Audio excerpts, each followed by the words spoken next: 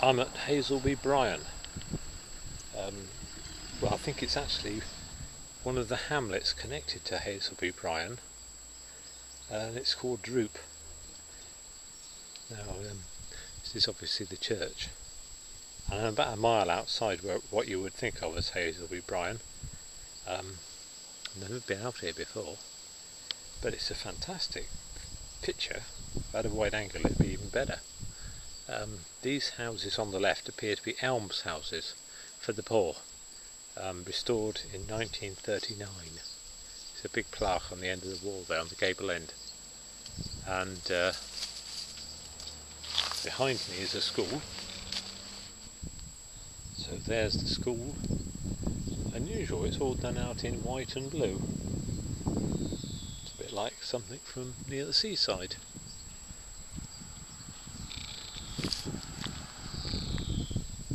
This affair here at the gate is called a lynch gate. Um, they're not very important nowadays, but years gone by it must have been quite important. Some meeting place, somewhere to get shelter, possibly even spend the night if you're a traveller. There's a huge travelling um, tradition in this area, and we see quite a lot of uh, people were with horse and carts, presumably taking sort of, sort of holidays. Um, and of course, a lynch gate is very good for wedding photographs. I think there might be some swallows in, uh, nesting up in it. I'll go. I'll go and have a look. The, um, the droppings on the floor there. So it looks to me like there might be a swallow in there, or something. But um, also the middle there that thing is made up, made up of a huge um, grindstone, millstone. It's a huge millstone. Massive. Big mill. Ah, there's the uh, swallow's nest up there. Right on top of the light. I've just uh, met the man who locks the church and he tells me that these are no longer for the poor, these houses, because what happened in the UK is the uh, all the finances of the church got taken over by the church commissioners. So anything like this had to be sold.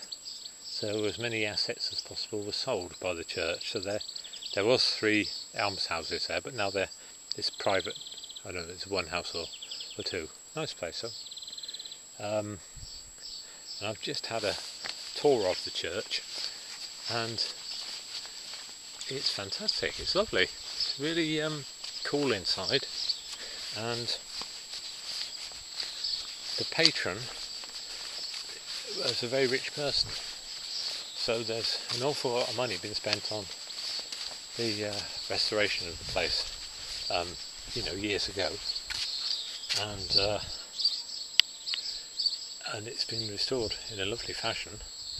And the windows are clear uh, which really means that they were knocked out during the Reformation the stained glass because the reformers didn't like the idea of stained glass and pictures and images.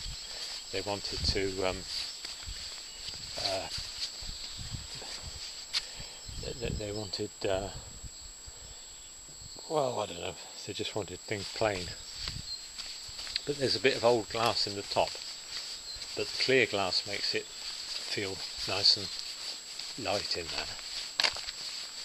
These will be the ashes plot. People their ashes buried in the churchyard rather than their body.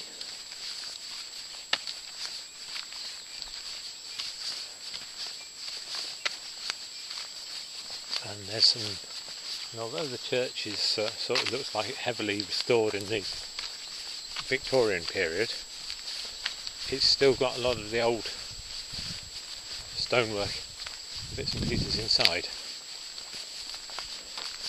So he's locked up now. I'll do a part two to this video when um, when the church is open. So lovely. This is the heart of Lincolnshire. I mean, in the guide to Hazelbury Bryan, they say it's Thomas Hardy country, and there's five villages connected to um, connected to Hazelbury Bryan, and it's all to do with uh, Thomas Hardy. But Thomas Hardy was only um, sort of fairly recent. He was he was writing about an era gone by, so he he wasn't writing he wasn't writing about his contemporary age. He was talking he was talking about um, a previous age. So uh, you know, Thomas Hardy doesn't define everything. Some lovely views around here, and the air is very clear just at the moment. Um, there's some money about here though. Some big places about.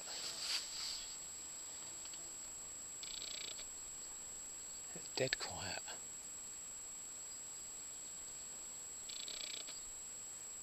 This is a horse field. These are horse jumps. So I say there's some money about here. That's some um, Bulbarrow up there.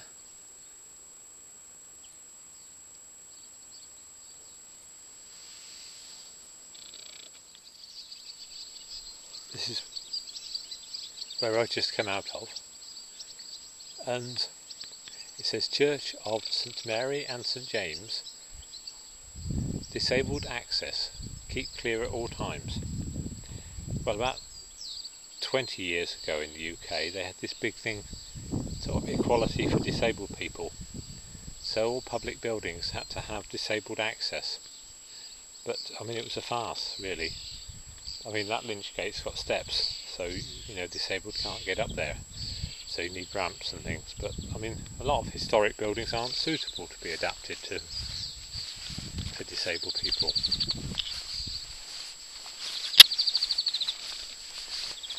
Anyway, I think I've uh, done about enough here. Coming back up these almshouses here. Nepal. Got a 2013 um, Mercedes SLK.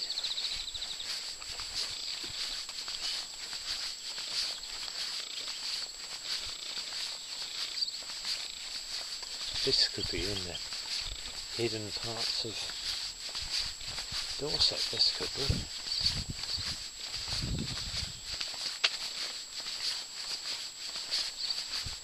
Church cottage.